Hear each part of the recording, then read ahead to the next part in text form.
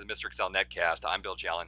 Today's question is sent in by George. George says he has a column of data in column A that he needs to insert a dash in the middle of this column of data. When I talked to George some more, it turns out that he has a part number over here. It has three characters and then four numbers. And he wants to add an item description. And unfortunately, his table with the item descriptions has SKUs as the three part numbers, a dash, and the four numbers. Now, this happens all the time.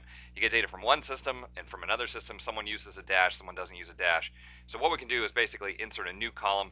I'll call it SKU2. What we want to do is grab the leftmost three characters from column A, so equal left of A2, comma 3.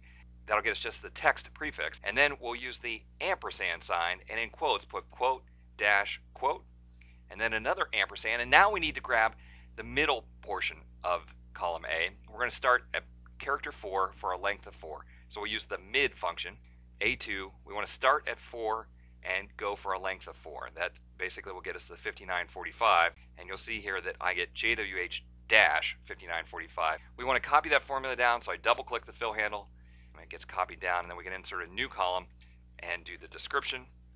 Now, last Friday we talked about using VLOOKUP with the true parameter at the end. In this case, we need to use the false parameter that says that we need an exact match. So equal VLOOKUP. We'll go grab this SKU. Our lookup table is over here in column I and J. Again, we want to make sure that's absolute, so I'll hit the F4 key to put the dollar signs in. Second column, and then the word false.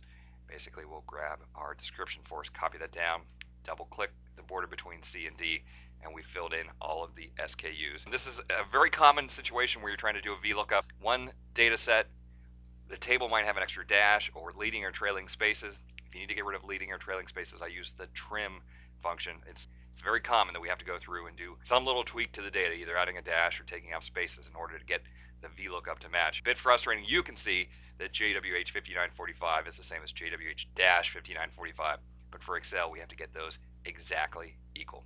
Hey, thanks for stopping by. We'll see you next time for another netcast from Mr. Excel.